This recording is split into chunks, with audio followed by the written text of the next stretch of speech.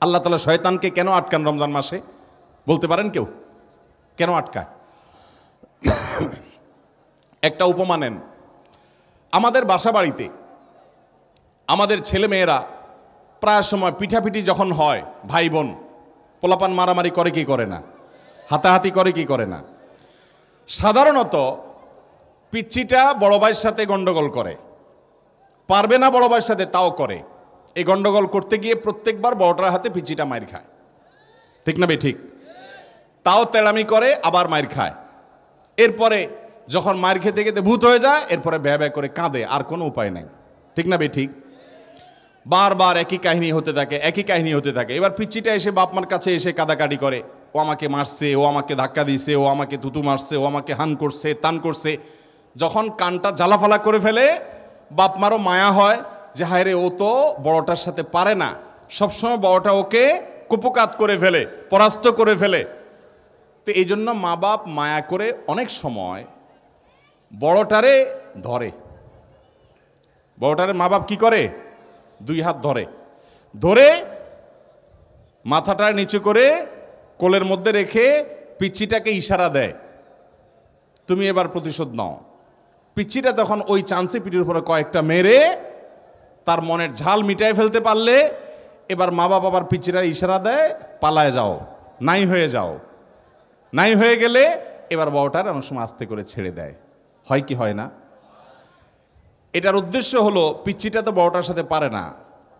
এই জন্য ওকে মাঝে মধ্যে একটু বিজয়ের আনন্দ, তৃপ্তি এটা মা বাপ দিতে চান।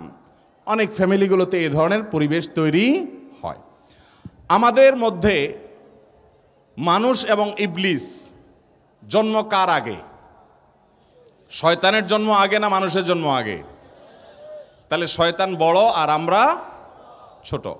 শয়তান চায় আমাদেরকে জাহান নামে নিয়ে যেতে। আর আল্লাহ আমাদেরকে চান আমরা জান্নাতে যাই। যদিও আল্লাহ রব্বুল আলমীর সাথে শয়তানের কোনো কম্পিটিশন নেই। শয়তানের সৃষ্টি আল্লাহ স্রষ্টা কিসের কম্পিটিশন কিন্তু শয়তান আমাদেরকে জাহান নামে নিতে চায়।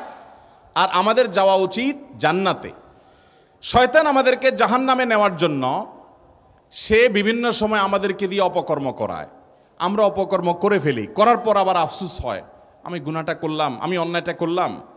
এটা হলো সে কুপকাত করার মতো। ভারতের এক কবি বলেছেন, আরে, এ কুস্তি তো হয় অমর ভার কি? কবি ও দাবালে, কবি তু দাবালে। শয়তানের সাথে তোমার লড়াইটা হলো সারা জীবনের।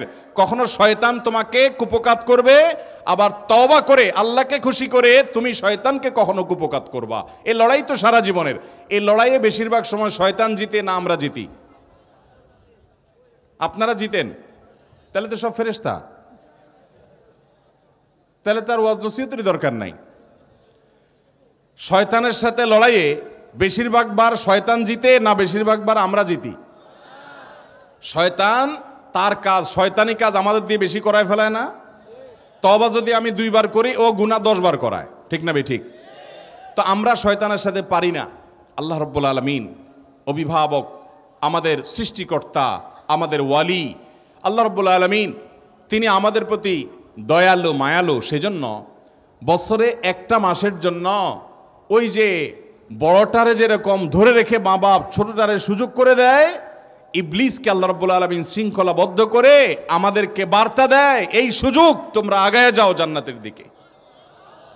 এই সুযোগে তোমরা তবা করে মাপ চেয়ে নাও। এই সুযোগে তোমরা আল্লাহর থেকে নাজাত নিয়ে নাও। এই চোখ সুযোগে চোখের পানি ফেলে আগের সমস্ত গুণা মাফ করিয়ে হাল খাতা করে ফেলো। আগের সমস্ত ফাইল ক্লিন করে ফেলো। এই সুযোগটা আল্লাহ তালা দেন। কিন্তু আমরা বেশিরভাগ মানুষ কপাল পড়া। রমজান মাসে সেই সুযোগটা আমরা গ্রহণ করতে পারি না। আল্লাহ তালা আমাদেরকে রমজানের রোজার শিক্ষাটা গ্রহণ করার তৌফিক দান করুন।